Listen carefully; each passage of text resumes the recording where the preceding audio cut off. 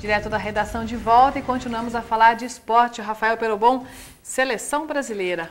Seleção brasileira que joga hoje à noite. Nós temos algumas imagens aí produzidas pela CBF TV eh, que mostram como foi o reconhecimento do gramado lá do estádio em Boston, nos Estados Unidos, onde o Brasil enfrenta hoje Portugal às 10 horas da noite, em mais um amistoso, depois daquele de 6 a 0 né, que venceu a Austrália no sábado lá em Brasília. Então vamos dar uma olhada nas imagens, tem uma entrevista com o Neymar também.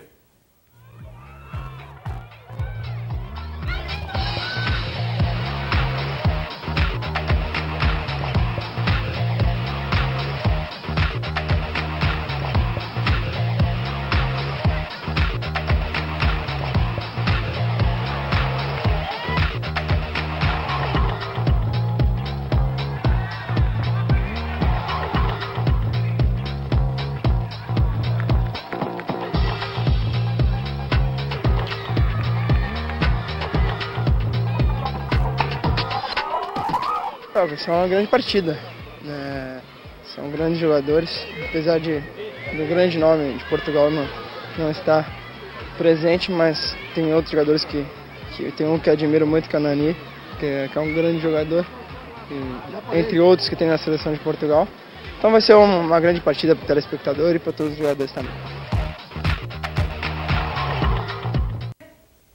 Rafael, seleção brasileira, vimos aí a, a fala do Neymar. Do Neymar. Expectativa para esse jogo Expectativa para esse jogo, apesar que Portugal não tem o Cristiano Ronaldo, que é a sua principal estrela, né? Ele que jogou pelas eliminatórias do final de semana, agora foi poupado pelo treinador, né, pelo Paulo Bento, que vai montar o ataque então sem o Cristiano Ronaldo, mas com o Nelson Oliveira e também com o Bonani. Então esse é o time de Portugal, que é uma grande seleção, na minha opinião, é um jogo muito mais interessante do que esse contra a Austrália, que foi no final de semana. Para você ter ideia, mais de 60 dos mais de 60 mil dos 68 mil ingressos colocados à venda já foram uh, adquiridos, então já foram comercializados. O Filipão, que tem aí esse mistério para o jogo contra os portugueses, né? O Oscar que ficou fora do primeiro por conta lá do, do problema no tornozelo, ele poderá voltar, mas o Filipão ainda não confirmou, tá?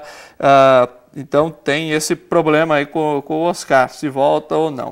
Uh, o Ramires pode ser mantido também na equipe e, e aí quem pode perder a vaga de titular caso o Filipão opte por Oscar e Ramires é o Bernard, né? O Bernard que jogou contra a Austrália, jogou praticamente o jogo todo, mas pode ficar de fora. Então essas são as informações aí que a gente tem né, enquanto escalação da seleção brasileira. E uma, uma outra informação interessante que eu achei da declaração do Filipão ontem é com relação ao goleiro Júlio César. Ele está lá no Queen's Park Rangers, lá na Inglaterra, segunda divisão, não está sendo aproveitado. E recentemente o Filipão falou que era interessante que os jogadores atuassem, nem que, nem que fosse em segunda divisão, em terceira, mas que estivessem eh, em atuação no futebol.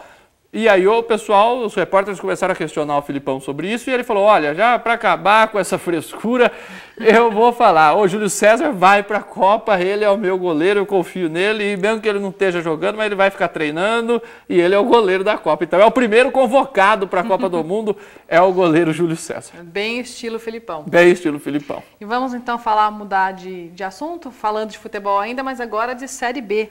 Palmeiras volta a jogar hoje. Volta a jogar hoje. O Palmeiras que venceu no sábado, né, fora de casa, volta a campo hoje, sete e meia da noite, contra o Asa de Arapiraca. Vamos ver então os resultados de ontem. Tivemos jogos da segunda-feira, vai vendo, hein? Na segunda noite também tem a rodada completa. Vamos ver. E na noite de hoje teremos o complemento da 21ª rodada da Série B, que começou ontem. Figueirense 1, América Mineiro 2, Boa Esporte e Bragantino ficaram no 0 a 0.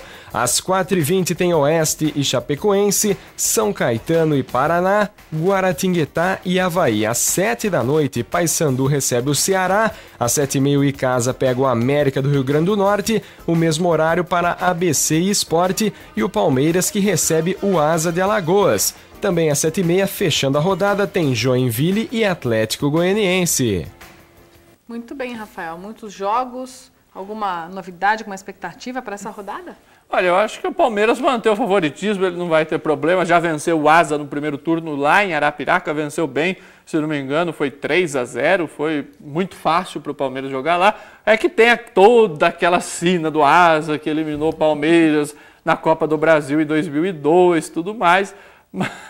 Mas o Palmeiras já mostrou que o Asa parece que não é mais pedra no sapato, né? Hoje podem ser outros times, mas o Asa acho que não é mais. Desse o Palmeiras já. É, parece que já, tá espantou, já, já espantou essa cena aí do Asa de Arapiraca. O Palmeiras agora, né, tá aí tranquilo, vai jogar em casa, não deve ter problemas não. Com certeza, então, amanhã os resultados, os gols, os gols dessa, né, dessa rodada, dessa partida. Com certeza. E antes de encerrar, Rafael, vamos falar então para a promoção, quem está lá em casa acompanhando a gente, o esporte aqui no Direto da Redação, a Dal Malharia faz uma promoção especial para quem gosta de jogar em equipe. Exatamente, você que participa de algum time, seja futebol, basquete, vôlei, futsal, handball, enfim, a Dal Malharia Estamparia, em parceria aqui com a TV Claré, oferece a você um super sorteio. Só você ligar 2111 7000, participe, concorra a um jogo de uniforme, é o jogo inteiro para o seu time, tá? Para o time que você participa aí. E a Dalmalharia Estamparia oferece toda última sexta-feira do mês a chance de você renovar as camisetas do seu time. Então ligue, eu repito o telefone, 2111 7000. E dia 27 de setembro, Poliana, a gente vai fazer o sorteio aqui no Direto da Redação. Tá passando o tempo, não vai deixar para ligar tudo na última Já hora. Já estamos no dia 10, não hein? consegue ligar e fica complicado, Com hein? certeza. Rafael, muito obrigada pela sua participação. Até amanhã. Valeu, até amanhã. Vamos ver como é que sai o Brasil hoje, como é que vai ser o Palmeiras e amanhã a gente conta tudo isso. Muito obrigada. O Direto da Redação volta logo mais com mais uma edição aqui na programação regional da TV Brasil.